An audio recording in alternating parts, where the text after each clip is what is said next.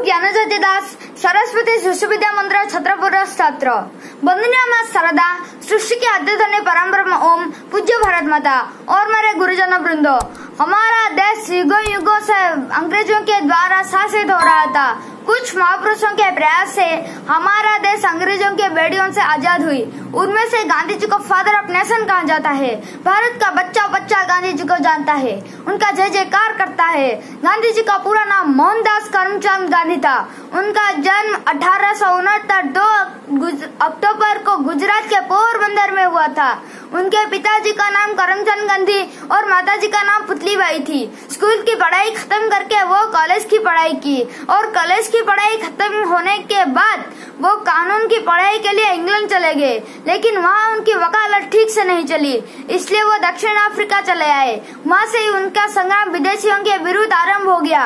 वहाँ के प्रवासी भारतीयों को लेकर अपना आज़ाद का स्वर उठाया था और कुछ दिनों बाद भारत और वहाँ भी भारतीयों को इकट्ठा कर कर विदेशियों के विरुद्ध असहयोग आंदोलन, भारत छोड़ आंदोलन, नमक आंदोलन दांडी यात्रा आदि के ज़रिए वो विदेशियों को हमारे देश से बाहर करने में सफल हुए।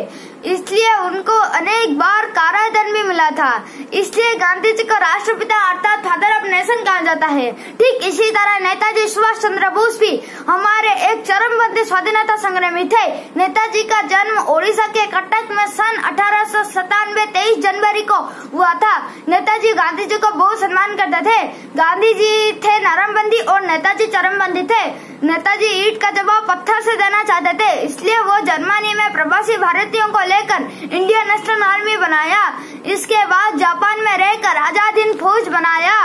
इस इंडियन आर्मी और आज़ाद हिंद फौज के सेनाओं में मरने और मारने का उत्साह था और देश को आज़ाद करने की जोश। थी नेताजी की दिल्ली चलो आह्वान से ये सेना ने भारत के बाहर रहकर, भारत में रहने वाले विदेशियों को खिलाफ संग्राम चलाया। भारत के अंदर गांधी जी का संग्राम और भारत के बाहर नेताजी का संग्राम विदेशों का भारी पड़ा वो हमारे देश छोड़कर चले गए। उन्नीस सौ सैतालीस पंद्रह अगस्त को भारत स्वाधीन हुआ।